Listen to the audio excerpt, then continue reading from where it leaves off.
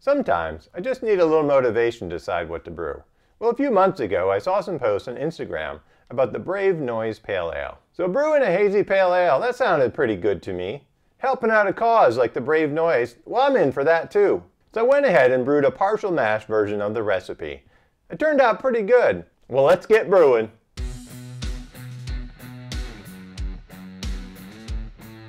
Oh, welcome. This is Brent from Cascades Homebrew. So I want to start off giving a little attention to the Brave Noise effort. So it started off with a question from Brienne Allan. Have you ever experienced sexism in the beer industry? So it grew from there to shine a spotlight on gender discrimination, racism, sexual assault, and harassment, especially in the brewing industry. So if you haven't noticed, I'm a white guy. I hit most of the stereotypes for your typical homebrewer. So I don't work in the beer industry, but I do attend homebrew clubs when I look around, I see a lot of people there that look a lot like me. So I think diversity in the homebrewing club should mean more than just do I have facial hair or do I have hair on my head? So it might be that the homebrewing hobby or homebrewing clubs just kind of attract geeky white guys like me more than other people, and I do think that is part of it. But when I attend various pubs, breweries, or festivals, I see a lot more diversity there than I see in the homebrewing clubs. So my message, in the theme of Brave Noise, is if you're a homebrewer or you're part of a homebrew club, Think about ways that you can encourage diversity. So make sure you and your club are open to minorities and women, and also treat new members with the respect they deserve. So I'll put some links down in the description about the Brave Noise project. Also, at the end of this video, I'll put a link to a playlist, some other brewers, and some other information on the Brave Noise Pale Ale. So let's talk about brewing some beer. So I went ahead and I submitted my request to the Brave Noise effort and they sent me back a packet. It included recipes for the homebrew version, both in all grain and extract. I'm always looking for some kind of investigative idea to try something out. I thought about doing an all grain versus extract shootout. That one might be something in the future, but looking at the recipe for this one and the use of flake oats made me think this was a good one for a steep versus partial mash. So I hope to put together a video to dig in more about the steeping versus partial mash this one is really just talking about the partial mash version that I brewed. So I'm going to evaluate my home brewed version, and I'm also going to test it against the commercial version. When I was up in Michigan over Thanksgiving, I stopped by HOMES Brewery in Ann Arbor. They had the Brave Noise Pale Ale on tap. So I drank a glass when I was there, and I also brought home a four pack. Their recipe is a little different than the base one. Theirs measures in at 6.2%. The base recipe called for about 4.8%. And also, based on the information on their website, it looks like they use Motueka in the dry hop as well, which is not part of the base recipe. Well, let me get into how I brewed this beer, then we'll come back and we'll drink mine and we'll compare it to the Brave Noise Pale Ale from HOMES. This beer is a partial mash. Actually, this is my very first time ever brewing a partial mash. I want to put out a video talking about partial mashes more in depth, but essentially, I conducted a mini mash, but the majority of the fermentables still come from the dry malt extract. To start, I treated the full 3 gallons or 11.3 liters of water with a bit of Campden tablet to remove chloramines. I then measured off a half a gallon of water, about 1.9 liters. This is the water that's going to be needed for the partial mash. I then heated up that water to 197 degrees Fahrenheit or 82 degrees Celsius to hit my target mash temperature of 152 degrees Fahrenheit or 67 degrees Celsius. I won't go into too depth with water chemistry changes here, but I treated the mash water with just over 2 grams of calcium chloride. This was partially to boost the chloride levels in the beer, but also the boost in calcium combined with the thicker mash should in theory help get my pH into a better range. I'm not sure how critical pH is with a partial mash. I didn't even measure my mash pH anyway. I mashed this in my 2 gallon beverage cooler that I had preheated by filling with hot tap water. The partial mash fermentables are 8 ounces or 225 grams of flaked oats, another 8 ounces or 225 grams of malted wheat, 7 ounces or 200 grams of a 15 Lovibond crystal malt. Note, the wheat malt here provides the enzymes which are critical conversion of starches into sugars during the mash. I simply added the grains into the small grain bag, added the hot water into the grains, then gave it a good stir.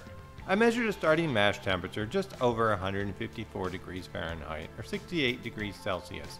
Oh, that's a fine temp. I think with this thermometer often reads a degree or two higher than actual temps anyways. I then sealed up the cooler and set it aside for the 30 minute mash. Iodine is often used to test for starch conversion. At the start of the mash, a drop of iodine turns a dark purple indicating the presence of starches. After the 30 minute mash, I opened up the cooler and gave the mash a good stir.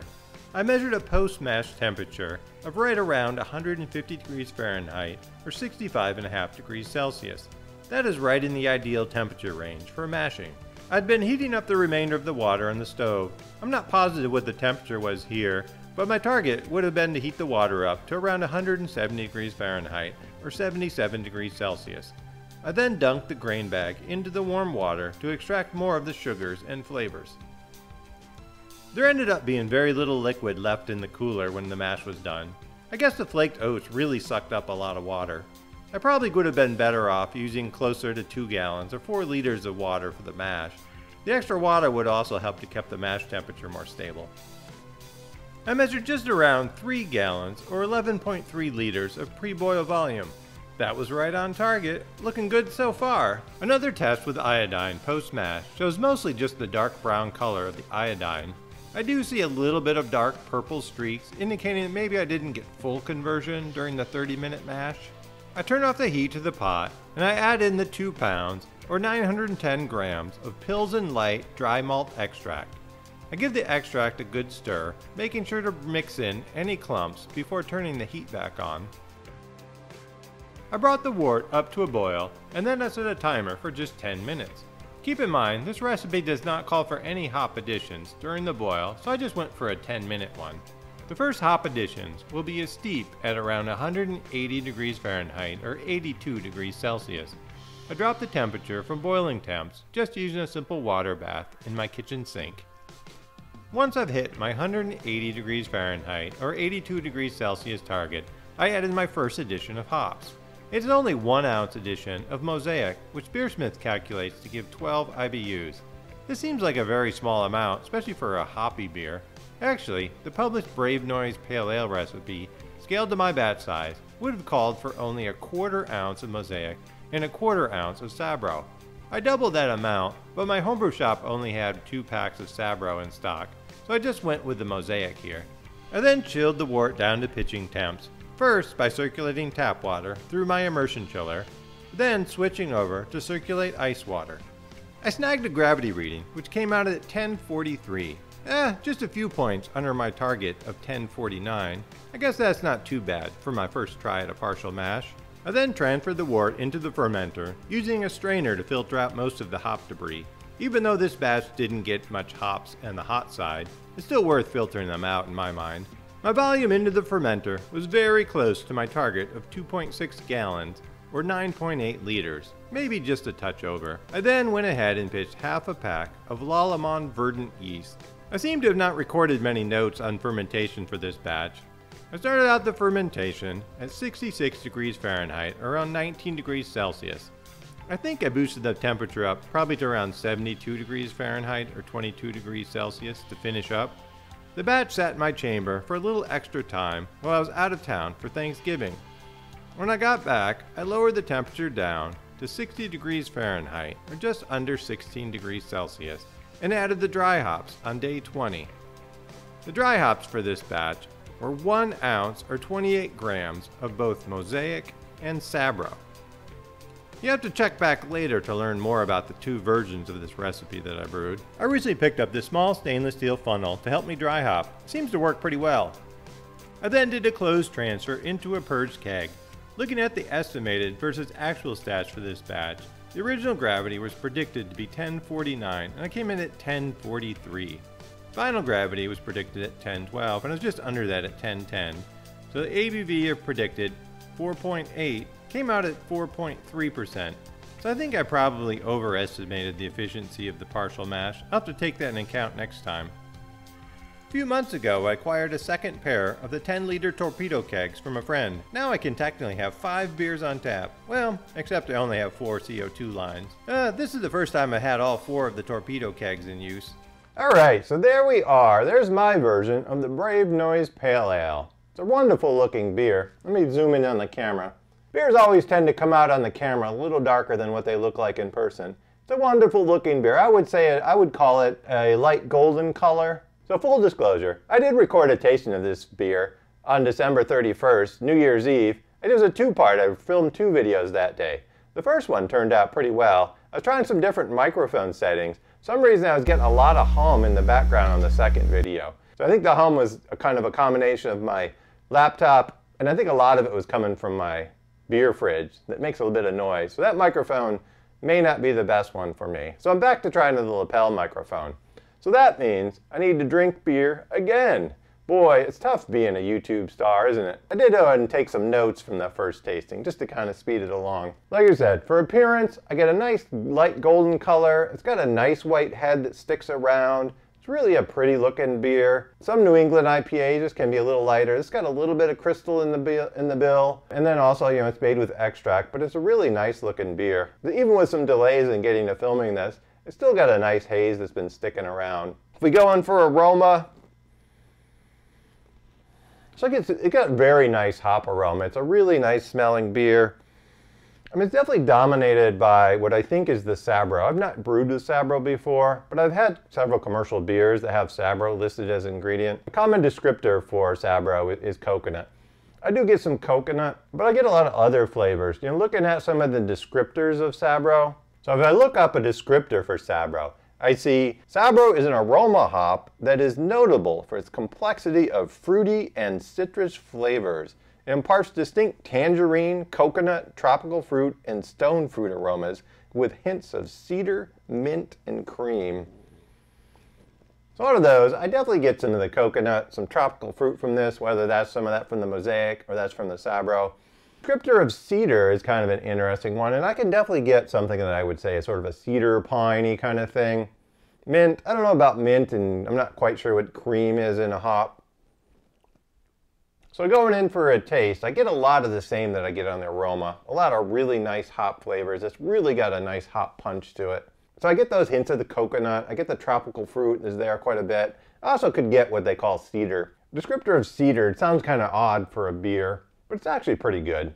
So as far as the malt bill on this and the grain, I think it's got a really nice flavor. Know, this is an extract beer, this partial mash. I don't get any flaws that I would attribute to, uh, you know, lack of complexity from being dry malt extract. So I think it kind of shows with quality extract, you can make a pretty good hazy IPA or hazy pale ale. And then as far as the mouthfeel on this, I would say it's got a medium. You know, it's only a 4.3% ABV beer. I would say the body is kind of in line with what you would expect. So it's not a big, thick New England IPA. Nobody's going to give you this and think it's a 7.5% beer.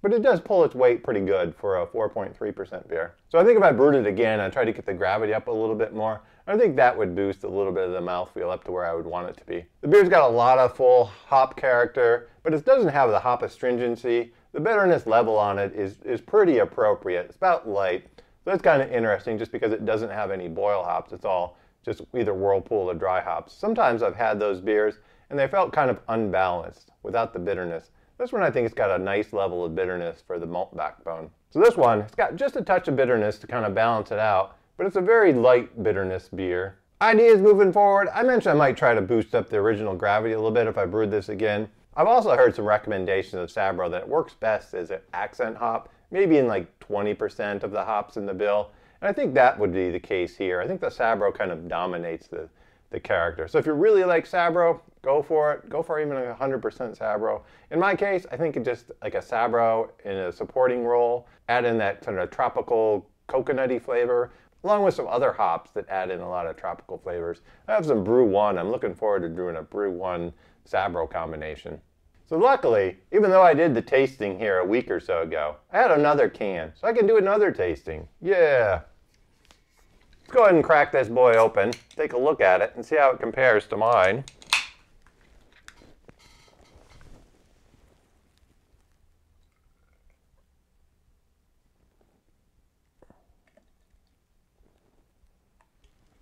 All right.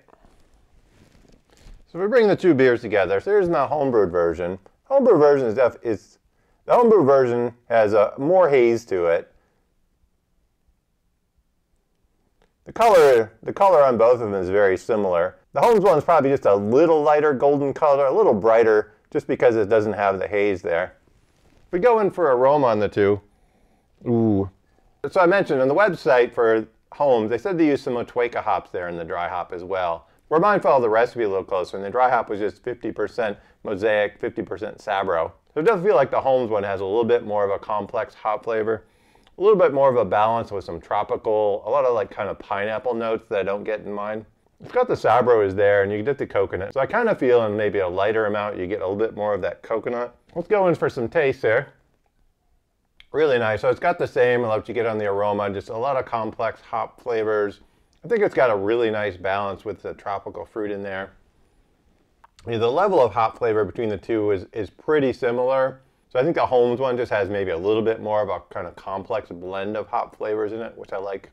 As far as mouthfeel in the two, they're actually pretty similar, which is interesting because the HOMES one, the 6.2%, where mine was only 4.3%. So overall, yeah, I think I like the HOMES one just a little better. I think I like the mix of hops. I think I like the blending of the hops. It's got a little bit more of a tropical note to it. But they're both very similar beers and they're both very good.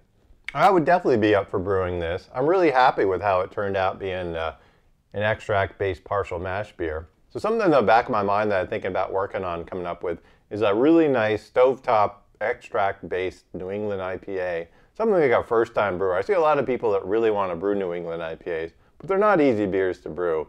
If you could brew one extract on your stove, I think that would be awesome. So if you're interested in learning more about the Brave Noise Pale Ale or the Brave Noise effort, check out some of the links in my description. Also, check out this playlist for other brewers, some of them that have brewed the exact same recipe. See how it turned out. Also, check out some of my other content. If you haven't subscribed yet, make sure you click that button. That way you can find your way back to my future content. Cheers, and here's to a great 2022.